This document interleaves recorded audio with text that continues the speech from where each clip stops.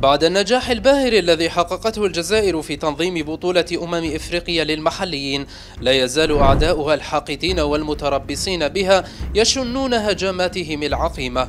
نجاح حفل افتتاح الشان وإشادة العالم به. أدخل خادم المخزن المطيع فوزي لقجع الإنعاش. ولم يجد هذا الأخير أي منفذ لتشويه صورة الجزائر سوى الكلمات البسيطة لحفيد نيلسون مونديلا ضيف الجزائر الشرفي في الحفل الباهر. الكاف وبالرغم من وشاية المخزن قررت التزام الحياد وعدم الدخول في متاهات وخزعبلات خادم المخزن المطيع الذي اتخذ بالأمس القريب من احتفال شان 2018 بالمغرب عباءة لتمرير عبارة الصحراء مغربية في إحدى أغاني الحفل. رغم أن القضية الصحراوية كانت ولا تزال قضية تصفية استعمار ويعترف العدو قبل الصديق على أنها آخر مستعمرة إفريقية.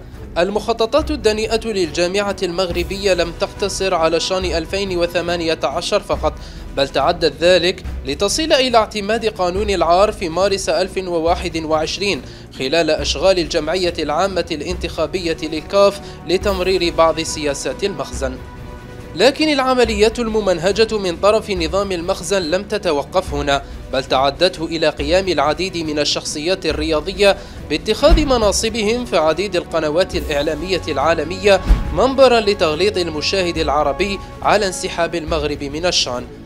في وقت قررت فيه اللجنة المنظمة لكأس أمم إفريقيا للمحليين بإحالة ملف غياب المغرب على الجهات القضائية والتي ستصدر عنها عقوبات متعددة في حق المغرب دون النظر إلى الخزعبلات والمتاهات التي يرسمها لقجع ليكون نجاح الجزائر في تنظيم الشان وتوفير البنى التحتية تحسبا لاستضافة كان 2025 والفوز بتنظيمها آخر مسمار يدق في نعش المخزن.